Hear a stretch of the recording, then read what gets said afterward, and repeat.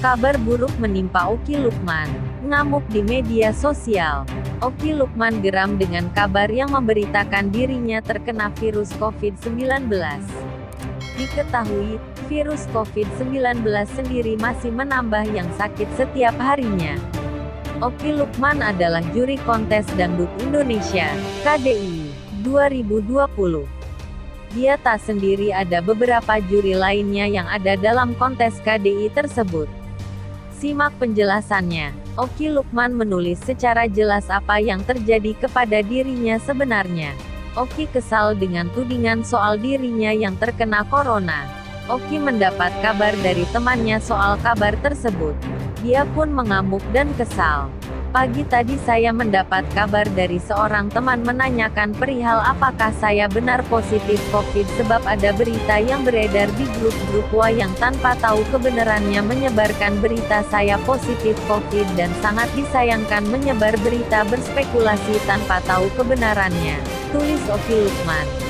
Oki Lukman menerangkan jika dia mengimbau kepada siapa pun jangan langsung memberikan kabar tak baik tentang dirinya.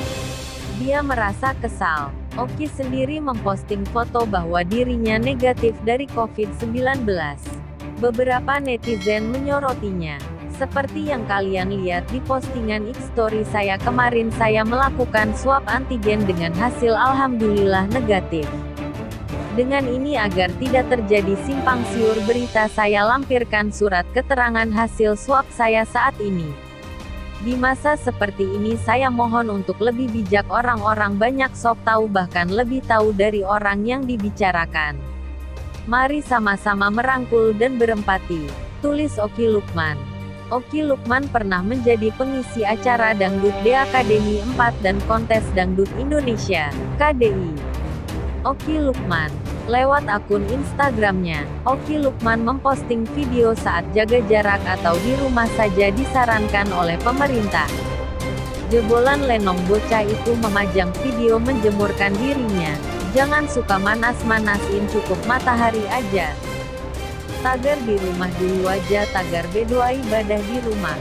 Tulis Oki.